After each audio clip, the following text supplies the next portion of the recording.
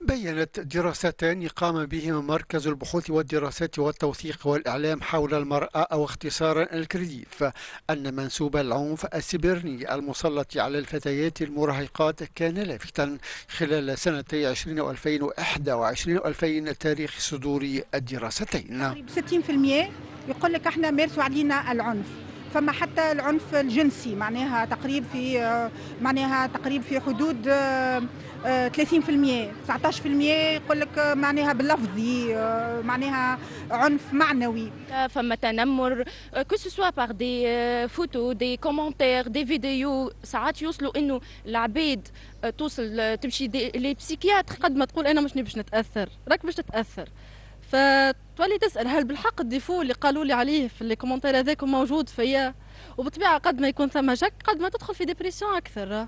فما برشا pourcentage من العباد قاعدين يشكيو على يعني التحرش الإلكتروني.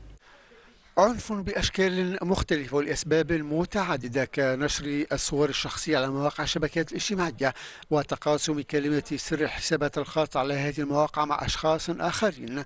أطلقت وزارة الأسرة والمرأة والطفولة وكبار السن حملة توعوية للحد منه تحت شعار ما تخليش الوحش يعيش وذلك من خلال موقع إلكتروني. عنوانه www.ne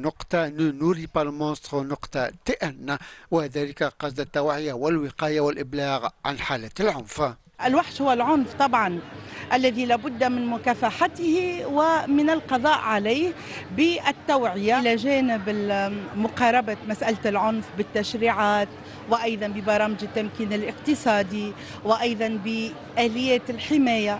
لابد أيضا من الاشتغال على الوقاية وعلى نشر الوعي. نوع من التكوين والتأطير لتحمل المسؤولية حتى يكونوا في مستوى أنهم يكونوا مسؤولين في المستقبل وهم مستقبل البلد.